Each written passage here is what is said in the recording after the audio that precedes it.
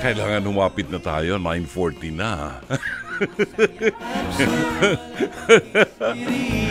Welcome po sa ating programa Dr. Love Radio Show. Ngayon ay uh, March 18 at lunes ng gabi. Tayo po ay napapakinggan sa 92.3 Radio 5 True FM sa Mega Manila at iba't ibang himpilan all over the Philippines sa Luzon, Visayas at Mindanao. At syempre, oh, kasabayan tayo napapakinggan sa Facebook page ng 92.3 True FM at sa Facebook page ng Dr. Love. Pwede kayo magpadala ng inyong mga comments, messages, pagbati, suggestions, liham kasaysayan, topic na gusto niyong pag-usapan po natin sa ating programa. Hanapin lamang po at i-follow ang ating Facebook page ng Dr. Love. And when you find it, eh, i-share lang po ninyo ang ating live stream sa ating uh, mga kaibigan at kamag-anak. Alright, 9.41 is our time. Sakad na natin to ha. Uh, ngayon po ay araw ng uh, lunes. I, pagbabalik natin, ihahatid namin sa inyo ang mabuting balita. Medyo may kahabaan ng konti ang mabuting balita ngayong araw na ito. Magsisimula ng humaba ng humaba ang mga Gospels today dahil next week, next week na ang uh, Holy Week, di ba? Yun. So, abangan ho natin, ho? 9.42 is our time. Pwede ko kayong tumawag sa mga hotlines natin. 863-15788 at 863-16674. Lunes nga pala ngayon. Ibig sabihin, nandyan, magiging panauhin natin mamaya si Lance Abellion. Ayan. Kasama ng ating mga producers. Si Jenjen Ganda Morales at saka si Mike Santillan. Itatawid ang programa natin hanggang alas 11 ng gabi. Pagbabalik natin ang mabuting balita ng Panginoon. San Mateo, anak ni Alfeo at kilala rin bilang Levi siya ay isang tagapaningil ng buwis at tinawag ni Jesus bilang alagad habang naghahanap buhay. Kasamang iba pa, siya ay naging apostol ni Jesus, ngunit kasama ring lumisan matapos ang pagdakip kay Jesus sa halamanan. Si San Mateo ang sumulat ng unang ebanghelyo. Siya ay nagtungo sa Ethiopia upang mangaral kung saan siya naging martir.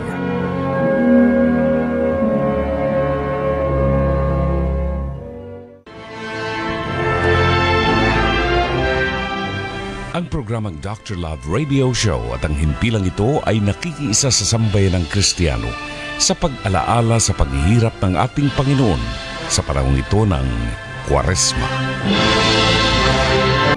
Pagkain pang spiritual Mga salita ng Diyos na nag-iiwan ng pag-asa, kapanatagan at kapayapaan. Pagkain pang spiritual hango sa bagong tipan ng banal na aklat pagkain pang spiritual. Narito ang ating pagkain pang spiritual para sa araw na ito ng lunes, ikalabing walo ng buwan ng Marso. Ang mabuting balita ay matatagpuan sa ikawalong kabanata ng Ebanghelyo sa ngayon kay San Juan, talata isa hanggang labing isa. Si Jesus ay pumunta sa bundok ng mga olibo sa pagbubukang liwayway, siya ay muling pumunta sa templo. Ang lahat ng mga tao ay lumapit sa kanya. Siya ay umupo at tinuruan sila. Dinala sa kanya ng mga guro ng kautusan at ng mga fariseyo ang isang babae na nahuling nangangalun niya. Inilagay nila siya sa kalagitnaan. Sinabi nila sa kanya, Guro, ang babaeng ito ay nahuli sa paggawa ng pangangalo niya. Iniutos sa amin ni Moises sa kautusan na batuhin ang katulad nito. Ano ang masasabi mo? Ito'y kanilang sinabi upang subukan siya nang mayroon silang maiparatang laban sa kanya. Yumukod si Jesus, sumulat sa lupa sa pamagitan ng kanyang daliri sa patuloy nilang pagtatanong sa kanya ay tumindig siya. Sinabi niya sa kanila, Ang sino mang walang kasalanan sa inyo, ang siyang maunang bumato sa kanya. Siya ay mulang, muling yumukod at sumulat sa lupa. Sila na nakarinig nito ay sinumbatan ng kanilang mga budi. Dahil dito, sila ay isa-isang lumabas simula sa matatanda hanggang sa kahuli-hulihan. Naiiwan si Jesus gayon din ang babae na nakatayo sa kalagitnaan. Nang tumindig si Jesus ay wala siyang nakita maliban sa babae. Sinabi ni Jesus sa kanya, Ginang, nasaan ang mga nagsasaktal sa iyo? Wala bang humatol sa iyo? Sinabi niya, Wala, ginoo. Sinabi ni Jesus sa kanya, Kahit ako man ay hindi hahatol sa iyo. Humayo ka at wag nang magkasalang muli. Giliw ng mga kapatid, ang mabuting balita ng Panginoon. Pagkain pang spiritual, mga salita ng Diyos na nag-iiwan ng pag-asa, kapanatagan at kapayapaan. Pagkain pang spiritual, hango sa bagong tipan ng banal na aklat pagkain pang spiritual. Oras alas 9.49 ng gabi ang mabuting balita ay inyong nadinig. Nais nating batiin nga pala ang um, a long-time family friend and a member of the Dominican uh, Order in the Philippines uh, malapit sa puso ng aming pamilya. Uh, novice master pa lamang siya. Kaibigan na po namin siya dyan sa Manawag. Eh, itong araw na ito, siya po ay uh, tumanggap ng Episcopal ordination. He was elevated to uh, that position na napakabigat ng responsibilidad bilang obispo sa Alaminos, Pangasinan. Congratulations to His uh, Eminence, uh, the very Reverend uh, uh, Bishop uh, Napoleon B. Sipalay Jr. OP. Katulad po namin na siya ay isang uh, Dominican. He belongs to the Dominican family at siya po ay naordinahan bilang obispo uh, ang ordinate ang ordaining bishop was Bishop uh, Bishop Socrates Villegas and tomorrow he will be installed in his uh, new diocese, ang Diocese of Alaminos sa Pangasinan. Siya po ang kanyang magiging cathedral ay ang Cathedral of St. Joseph, no? St. Joseph. Uh, bukas po, March 19, uh, kapiyasahan ni St. Joseph ang uh, ang kanyang installation as the new bishop of of uh, Alaminos, Pangasinan. Congratulations to uh, to Bishop Bishop June Sipalay Jr., OP. Maraming salamat. Okay, atin pong tunghayan ngayon ang ating uh, episode ng Pest to Pez, Hirit ni Dr. Love. Alamin po natin ito ang itinampo kaninang umaga na hindi ko napanood dahil ako'y natutulog pa. Itinampo kaninang umaga alas 11 hanggang alas 12 ng tanghali. Sumasa inyo po ang programang Face to Face uh, on weekdays, lunes hanggang biyernes, 11 to 12 noon sa TV5 at meron pong replay, 8 to 9 p.m. sa Signal TV 1PH Channel 1. Alamin natin kung ano ang kasaysayan sa likod po ng ating episode, tama na, bumibingo ka na. Narito ang Pest to Pez, Hirit ni Dr. Love. Kailan at paano nagsim nag-umpisa ang inyong problema tungkol dito sa... Hindi po. Ano po kasi siya, ma'am, pabayang ina at pabayang asawa. So, ano naman ang pakialam mo doon?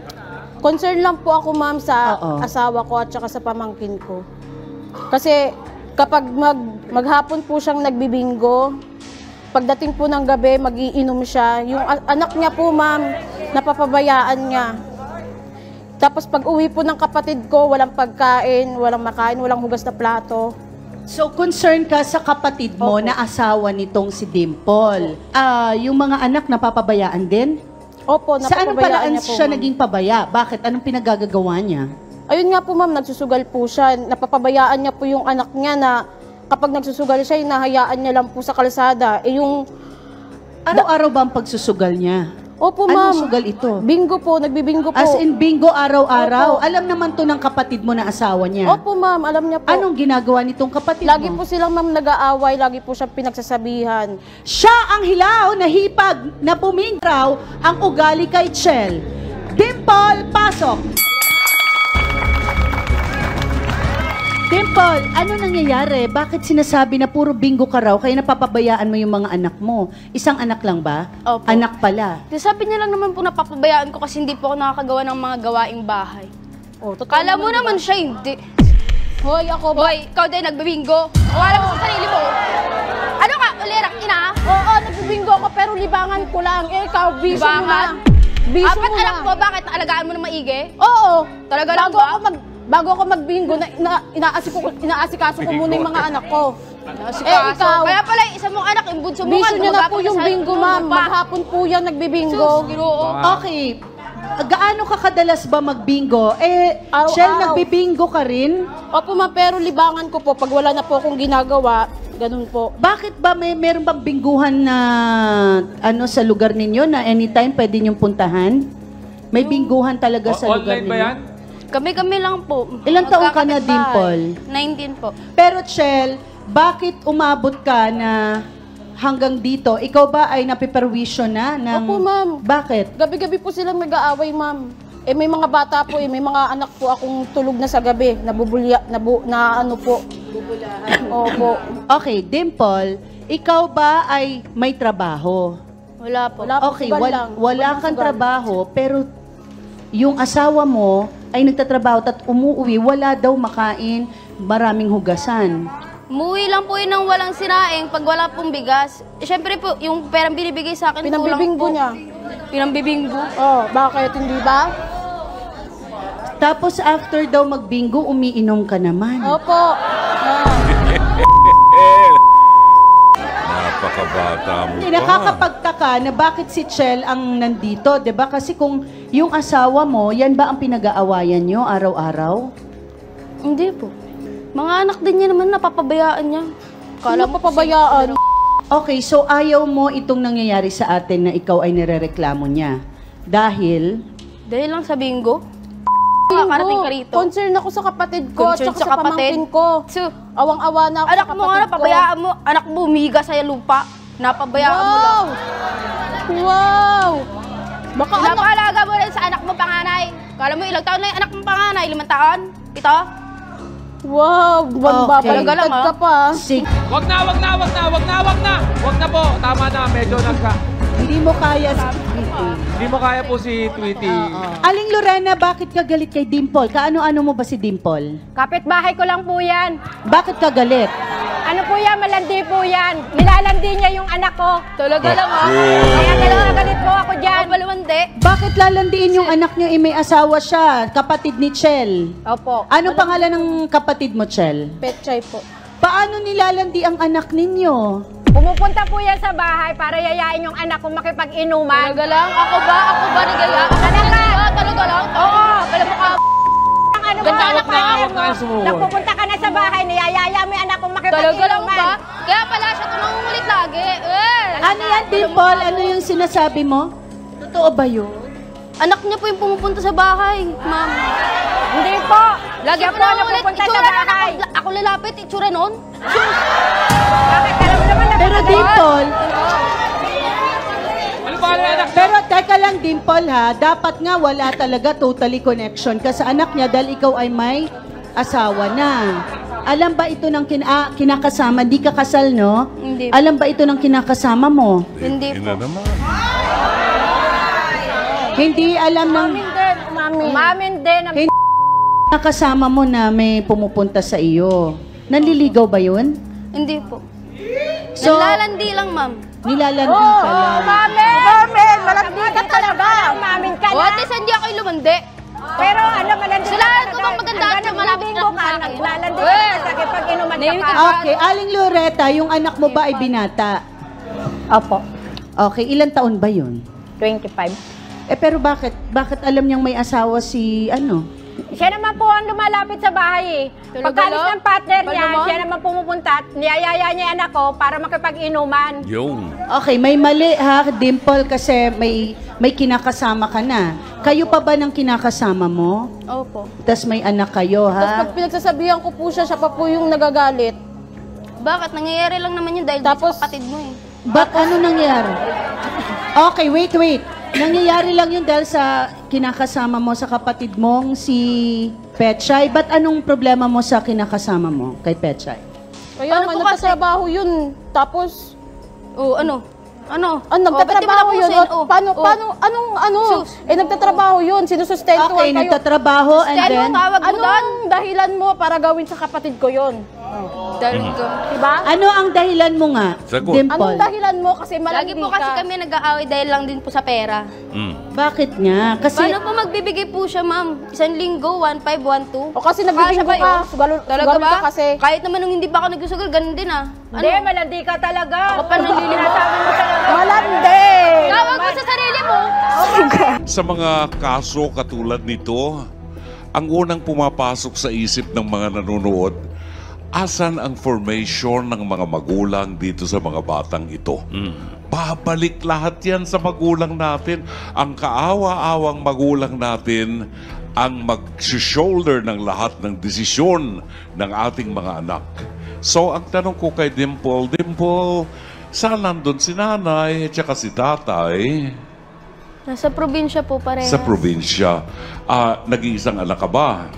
Hindi po.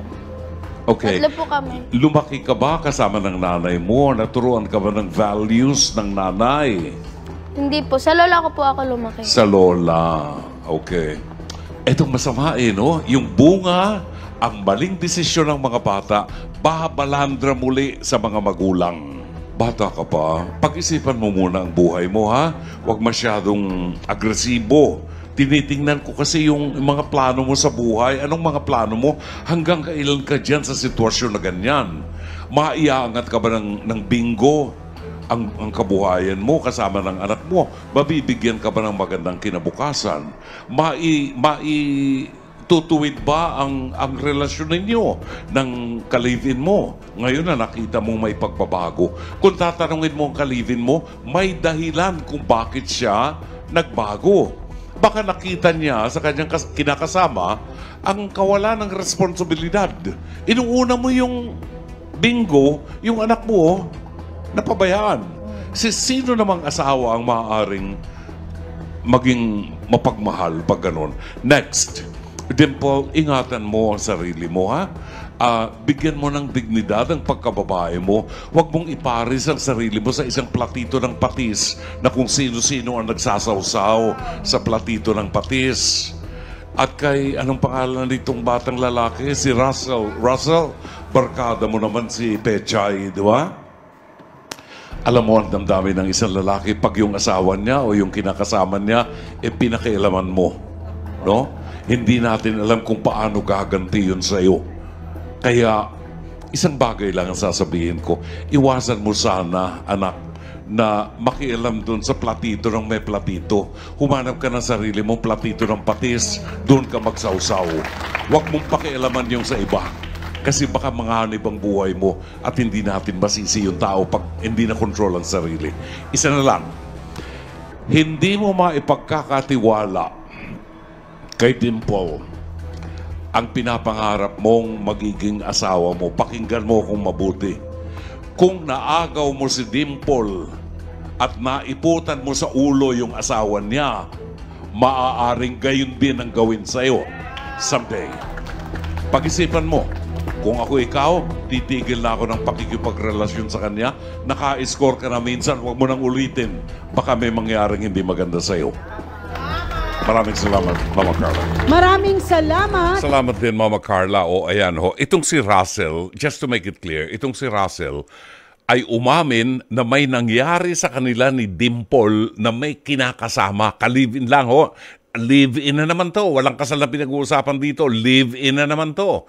Umamin si Russell at inamin din ni Dimple na nagkaroon sila ng one-night stand.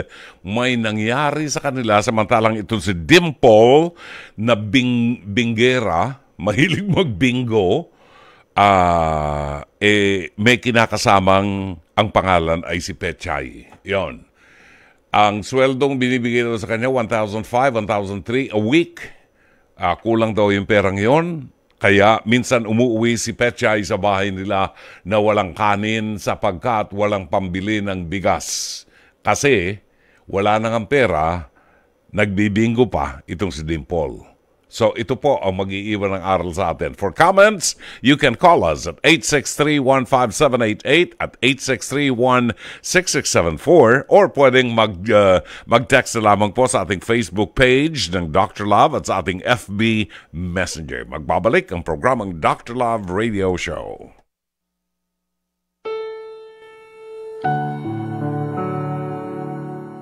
San Simon siya ang tinaguriang makabayan dahil sa kanyang masugid na pagsunod sa mga batas ng mga Hudyo.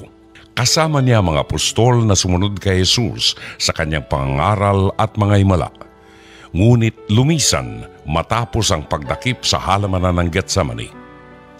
Ayon sa kasaysayan, siya'y unang nangaral sa bansang Ehipto at Africa. Tumungo kasama ni San Judas Tadeo sa Persia upang ipalaganap ang pananampalatayang Kristiyano.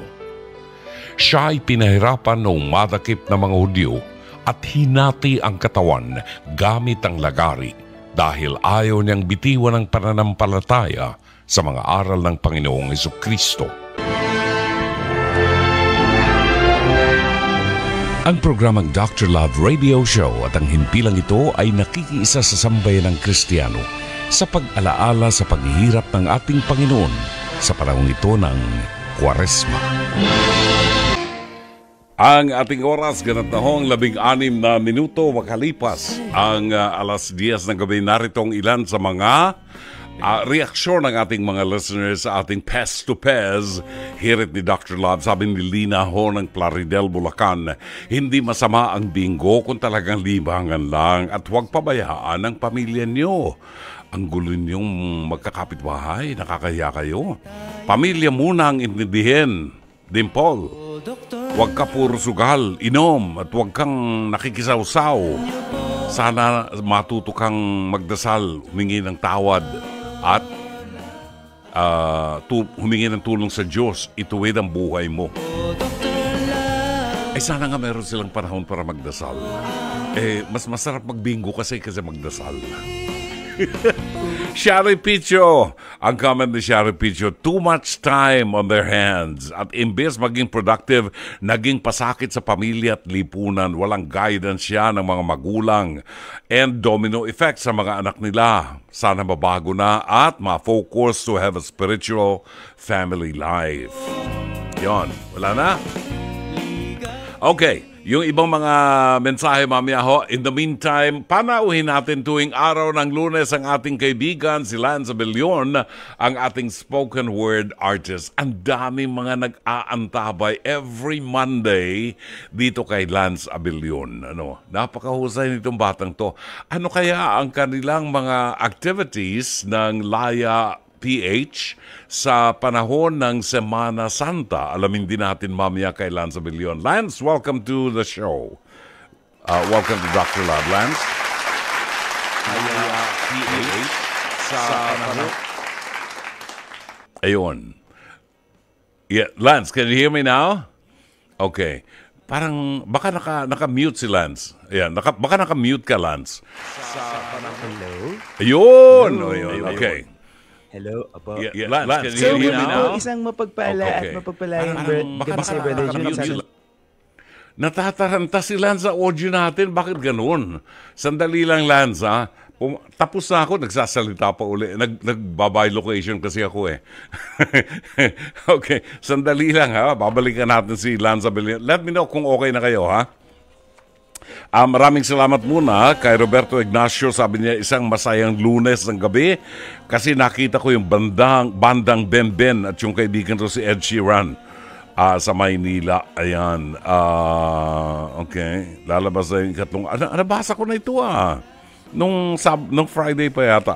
Maganda gabi kay Rosario Ma- uh, Rosario sa Avedra Sacluti. Chato Sacluti, who uh, listens to the program every night. Maraming salamat sa iyo.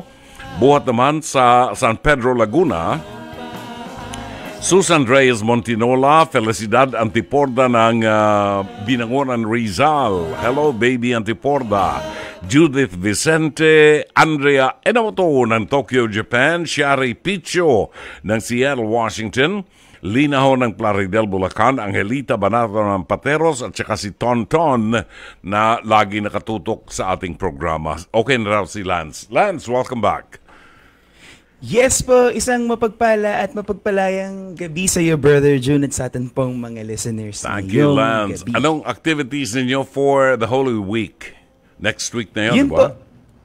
Yes po, syempre po, no? Ah, as we speak po ngayon, ay ang Laya PH po ay puspusan na pong naghahanda para po sa aming paparating po na pag-ere ng Loved the Laya PH Holy Week Special. As we speak po, ang ang buo pong special ang proyekto po ay nasa post-production, meaning editing stage na po siya. Ah, color grading, audio, videos, pagsasama-sama ng mga video clips at iba pa. At ikaw ang nag-direct nito. Yes po, ako po ang ako po ang punong abala. Oo. Apo. That's very good. Well, uh, that's uh, worth waiting, ha?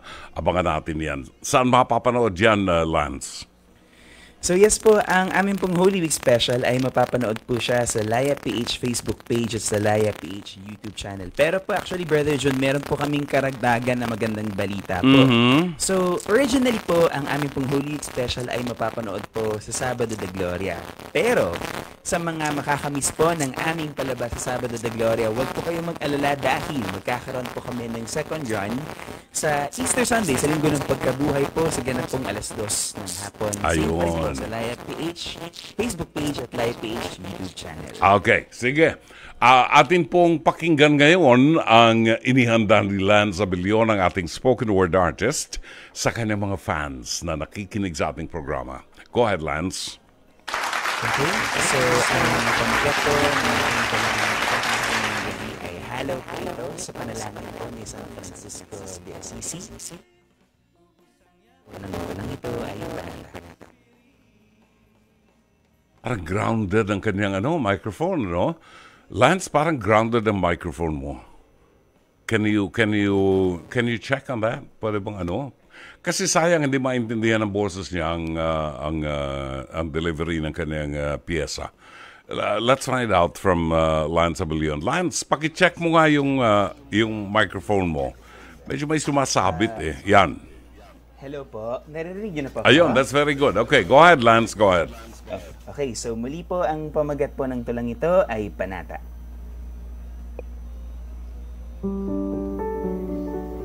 Panata. Batid kong matagal mo na akong minamahal. Alam mo ang wika ng aking mga galaw. Kaya pipiliin kong parati ang maging tulay ng pag-ibig. Maging mitsa ng kapayapaan, hindi ng panlulutig magiging bukas akong pintuan sa kung sino man ang ibig manahan. Magiging takbuhan akong handa nilang maging sandalan.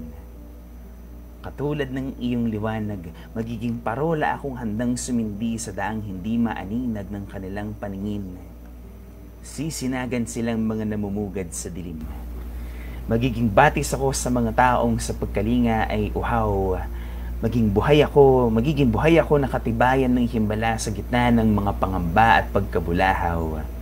Magiging yakap ako sa bawat nahihirapan, magiging gabay sa sino mang nagugulumihanan, magiging kamay na maaring makapitan para sa kanilang paghahayo at paglaban.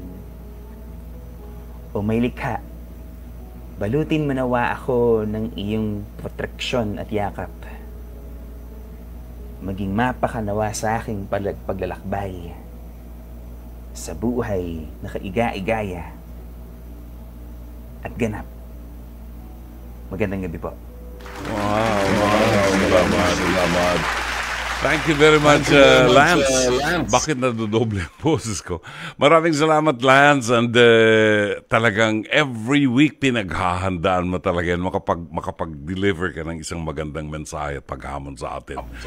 Okay. Uh, may babatiin ka pa before we uh, finally uh, say goodbye. Medyo nag, uh, nagloloko ang ating sound system. Uh, Lance, go ahead. Una-una po sa lahat, binabati ko po ang mga kasamahan ko po sa Laya PH, sa aking production team sa Holy Week Special, kay Direct John Julian Muniz at kay ang mga producers ko, si Kuya Red Feria at si Mia Grace Camino. At syempre ang aking naging assistant director, si Ronald Benavides. Sana ay okay kayo sa ating pagpe-prepare. Syempre po, binabati ko po ang aking pamilya, Abellion family at syempre si Mommy Edna Abellion ng isang happy viewing. Magandang gabi. Yon, maraming salamat sa iyo, Lance. Ang ating spoken word artist si Lance Abellion at 10.25. Pagbabalik natin mamaya, atin puntunghayan ang uh, liham kasaysayan padala sa ating palatuntunan sa Dr. Love Radio Show. Castello, 28 minutes after um, 10 o'clock, tayo po ay nasa pangalawang bahagi na ng ating programa. Bago natin tunghayan yung liham kasaysayan na ipinadala sa ating palatuntunan, gusto ko lang munang pasalamatan po yung ating mga kaibigan na patuloy na nagtitiwala sa programa natin. Maraming maraming salamat kay uh, Elizabeth Villa Gonzalo na nakahula ng title ng Awiting Balat Kayo ni Anthony Castello. Maraming salamat kay Giorgio Esteban Serafica na ngayon ay nakikinig sa atin kasama si Mama Emma. Abangan natin yung mga songs na maiibigan ni Mama Emma.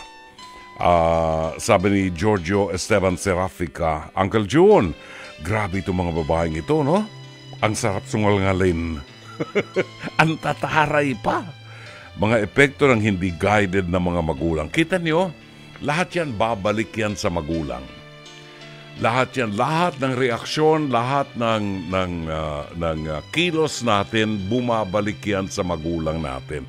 Kaya dapat maging maingat tayo. Eh paano, paano, anong ina-expect natin kung hindi na palaki ng mga magulang itong mga batang to? Kita mo nga, at very, very young age, nakikipag-live-in, live-in. You know, uh, nagnananay-nanaya, nagtatatay-tataya, nagkunyari, asawa sila, nagli-live-in without the benefit of the sacrament of matrimony. Hindi nagpapakasal, walang commitment. Wala lang, basta lang. O sige, gawin natin ang gusto natin. Di ba? Yan ba ipapakita natin sa mga anak natin? Nakaka... Kakainis minsan ang lipunan natin. Maraming salamat kay Marjon Mamhot. Uh, buwawati na magandang gabi. Ricardo Sales. Good evening, Brother June. Pacheck po ng attendance. Binabati ko po ang nanay ko na si Marieta Sales ng Celia Uno, Malabon City. Ganon din po si Carla Catalan ng Santa Mesa, Manila. Pakisama rin po sa prayers ang kagalingan ng aking tiyahin na si Alice Alicia de la Rosa. Buhat kay Ricardo Sales, Sally De Luna, maraming salamat po sa inyo. Bagong pangalan yan ha. Sally De Luna. Uh, good evening. Alan A. Hunko, mga regular natin to. Edwin Romero, Brother John, happy blessed Monday. Pacheck po ng attendance watching live via Facebook here in the City of Angels, Los Angeles, California. Felix Onayan ng Quezon City. Mga bagong pangalan yan. Evelyn Fortunado, maraming salamat ng Real Quezon. Ang aking kaibigan, si Engineer Mercy Santos ng Pasig City. Good evening at happy listening to you. At buhat naman kay Lynn ng Brussels, Belgium. Good evening, Brother June. Greetings from Brussels, Bel Belgium. Pag-greet naman po ang mag-ama ko si Nathany and Patrick Vendring. Patrick Vendring. Ang pagbati buhat kay Lynn ng Brussels, Belgium.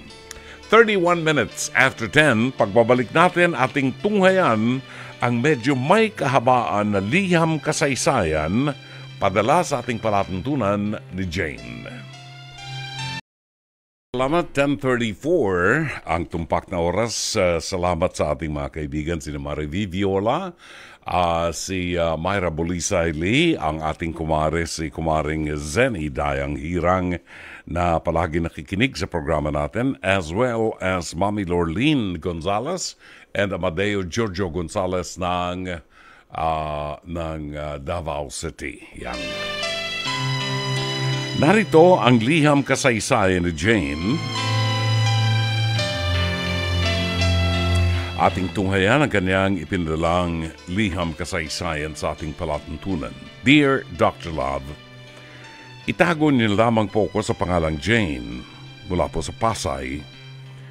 Hindi ko na po talaga kaya ang bigat ng nararamdaman ko. Hindi ko na rin po kayang sarilinin pa ang pinagdadaanan ko kaya nagdesisyon na po ako na ipadala ang sulat na ito sa inyo, Dr. Love umaasang malinawan at kahit papaano ay malaman na paano nagsisimula o magsisimula muli at ano ang gagawin. Pagpasensyahan niyo na lamang po ako kung medyo magiging magulo ang sulat ko, hindi ko po mapigilang maiyak habang ginagawa ito. Meron po akong boyfriend, 4 years na po kami. 30 years old po ako at siya naman po ay 33 years old. Ang naka, uh, nakaraan niya po ay sa mga tipikal na kabataan. Nagkaroon ng girlfriend ng mga magagandang babae habang ako naman po nakadalawang boyfriend lang po ako. Ang mga nakaraan niya, Dr. Love, talaga lamang, talaga lamang mga babaeng magaganda. Sinasabi rin po naman niya sa akin yan ng family niya may halong pagmamalaki siguro dahil ako ay hindi naman kagandahan. Masasabi ko pong utak lamang ang meron ako.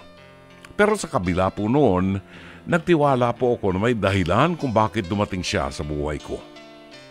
Masaya naman po kami noong una na mga taon at talaga nga lamang pong hindi ko maiwasang masaktan sa tuwing naikukumpara ko o di kaya naman nabibiro ng family niya kasi nga naman siya, maganda lalaki, habang ako masipag at mag- map- map- mapagmahal lamang. Nitong taong ito, dumating ang pinakamasayang regalo sa buhay ko. Nagdalang tao po ako. Bale, five months na po ngayon, Dr. Love. Nabanggit ko po sa kanya na gusto ko sanang maikasal bago lumabas ang anak namin. Umuo naman po siya, kaya Talagang todo-todo ang pasalamat ko po sa poong may kapal. Kaya nga lamang po, nitong mga nakaraan linggong dumaan, dumaan po kami sa iba't ibang pagsubok at sa tuwing aayain ko po siyang pag-usapan ito, parang ilag na ilag po siya. Pakiramdam ko para bang sinasayang ko lamang ang oras niya sa tuwing magyayaya ako ng pag-uusap, Dr. Love.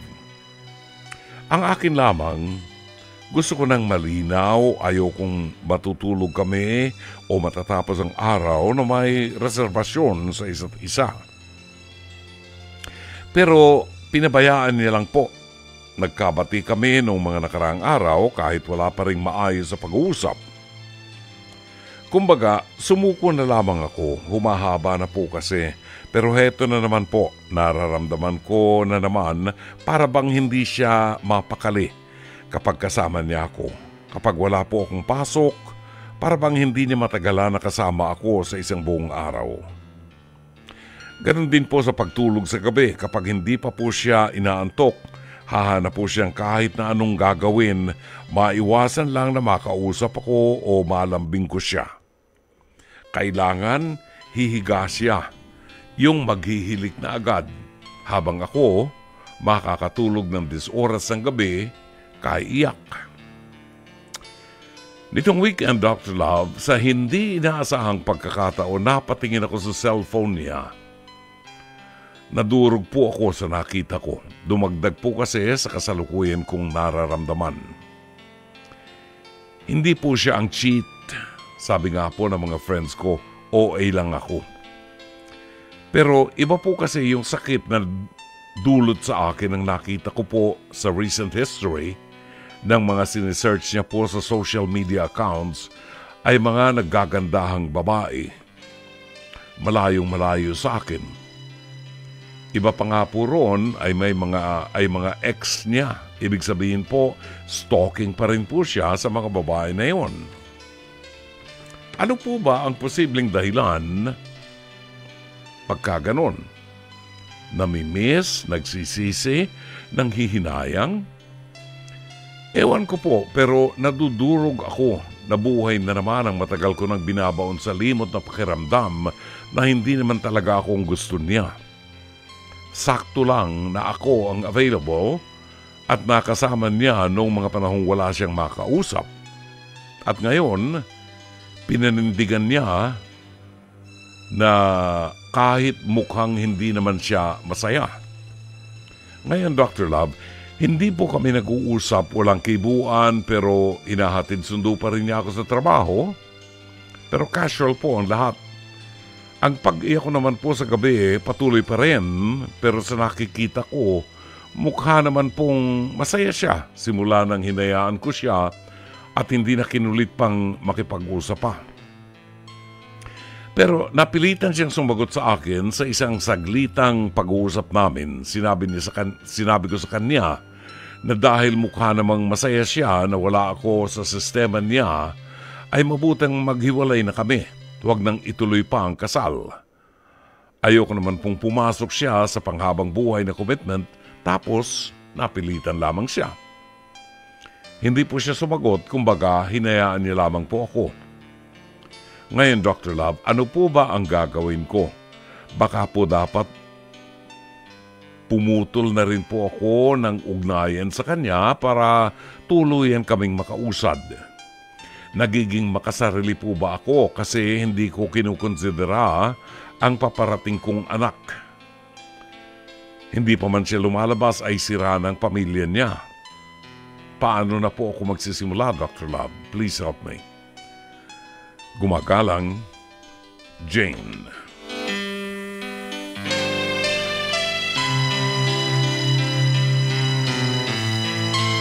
Maraming salamat sa iyo, Jane. Eh, sino bang sisisihin natin? Kayong dalawa ang nagkasundo. Sa edad mong yan, dapat eh alam mo, ikaw naman ay 33 anyos na, sabi 30 anyos ka na. Ang boyfriend mo ay 33 sana, eh bago ka nagbuntis, eh siniguro mo munang legitimate ang inyong pagsasama. Ayun naman ang sinasabi natin, itong panahon na ito, napakadali ng bumuntis ng babae. Itong panahon na ito, napakadaling mag-convince ng babae, hindi naman lahat, ano? Pero marami itong panahon na ito, lalo na mga kabataan natin. Kilitiin mo lang ng konti, bigyan mo lang ng chicharong bulaklak ay siya ay makukuha mo na ang ang kanyang chicharon. You know? Abutan mo lang ng chicharon bulaklak. Okay na, magkakasundo na kayo. Malalaglag na ang panty, makakabuntis ka na. Hindi naman lahat, meron pa rin mga konserbatibo. Pero sa dami ng nakikita natin, araw-araw na kaso, live-in, live-in na lamang. At pag nabuntis, wala, hindi na naisip ang bata. Paano bata? kaninong pangalan ang dadalhin ng bata, paano ang batang illegitimate? Iho de bastardo. Pasarap ng pasarap ang mga magulang, ang mga bata apektado pagkatapos na isilang. Nagbuntis ng walang commitment, nagbuntis ng hindi magkasundo Ang isang problema mo kasi, Jane, sa simula pa lamang ng iyong sulat, eh wala ka nang ginawa kung hindi insultuhin at tingnan tingnan ng, ng napakababa ang iyong pagkatao porque ikaw ay hindi kasing ganda nung mga naging dating syota ng boyfriend mo na magandang lalaki rin. Alam mo yung gandang yan, subjective yan eh. Maarang sa'yo maganda pero sa paningin namin hindi maganda. Maaring sa'yo gwapong boyfriend mo pero sa paningin ng iba, aba hindi, hindi extraordinary yung boyfriend mo. Subjective yan. At higit sa lahat, wag mong, wag mong pababain ang pagtingin sa pagkatao mo. Sapagkat may dignidad ka. Hindi porke hindi porke maputi ang balat mo, eh maganda ng pagkatao mo. Hindi porke matangos ang ilong mo, maganda ng pagkatao mo. Ah, Tandaan mo, maraming salamat, Dok, ngayon. Yung mga ilong na pango, kagaya ng ilong ko, napatatangos yan. Salamat, Dok. Eh, hindi yan ang katotohanan. Ang mahalaga, kahit hindi ka mistisa, hindi ka naman kailangan maging mistisa eh. Ang mahalaga, maganda ang ugali mo. Now, 33 years old ang boyfriend mo, at hindi ko alam kung anong pinagbago niya, definitely, mayroong problema sa inyong pagsasama.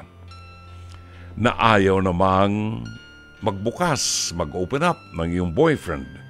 If that is the case, this is a clear sign na kung kayo patuloy na magsasama, eh lalong mauuwi sa walang kakwenta-kwentang pagsasama ninyo.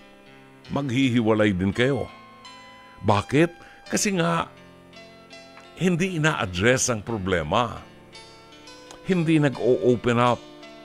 Alam mo, parang ano yan eh, parang parang bulkan na unti-unti naiipon ng init sa loob hanggang sa konti-konti lang yung init na yan pero habang nagtatagal, hindi nare-release ang init, sasabog yan. And obviously, ang boyfriend mo ay walang intensyon para sa isang mahaba ang pagsasama. Now, paano yan? Paano yan, Dr. Love? Buntis ako ngayon. Eh, sinong sisisihin mo? Kapag ang boyfriend mo ang tatanungin mo, pag may nakitang butas yan, papasukin yan. Eh, pag ipinakita mong butas sa kanya, papasok yan. So, ito ang sinasabi natin na kinakailangan protektahan niyo ang dignidad ng inyong pagkababae. Bago niyo ibigay ang katawan niyo, siguruhin niyo na may commitment kayo. Apat na taon na kayong magsyota. Eh, doon sa apat na taon na yan, dapat nalaman mo na ang kanyang ugali. Well, sino pa ba ang sisisihin natin? Di ba? Sino pa ang sisisihin natin kung hindi yung may katawan? Ganun pa man, ikaw ang dapat magdesisyon.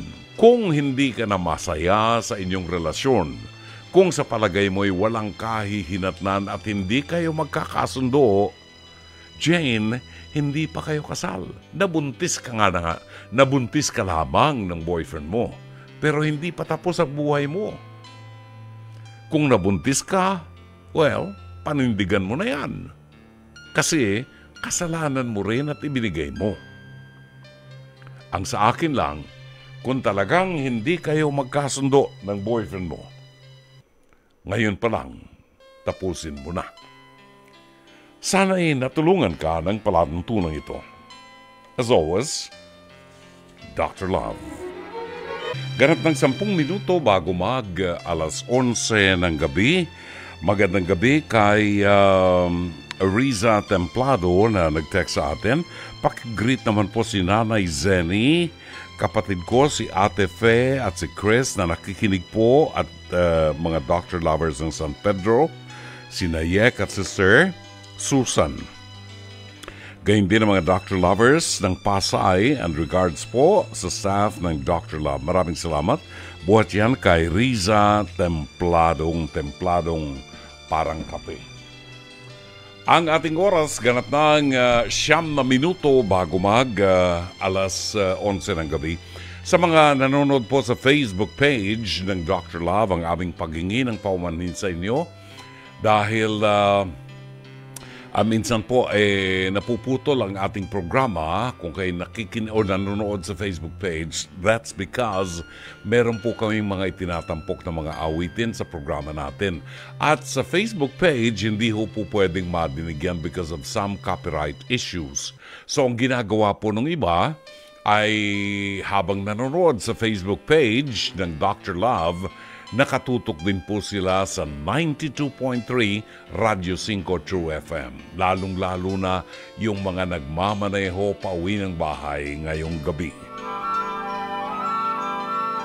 Bueno, ang bilis ng isa at kalahating oras ng ating programa. Sana po ay uh, naging makabuluhan ang ating pagsasama at ang mga kasaysayang ating natunghayan sa programang ito. Kami po ay magbabalik bukas ng gabi alas 9.30 hanggang alas 11 dito rin po sa 92.3 Radio 5 True FM. Sa ngalan ng ating General Manager Raul de la Cruz, ang ating Production Manager si Alvin Maanyo, ang ating Operations Manager Cherry Baile, ang ating dalawang naggagandahang mga producers si Jen Jen Ganda Morales at si Mike Santillan, ang ating Technical Director Direct Chic Mamaril, ang ating uh, technician si Rome Ortigas at ang ating PA at Avid Operator si Mike Bulay Og. Ito po si Brother June Banag, OP, pansamantalang magpapaalam hanggang bukas muli. Magandang gabi, maraming salamat. Shalom Alaikum.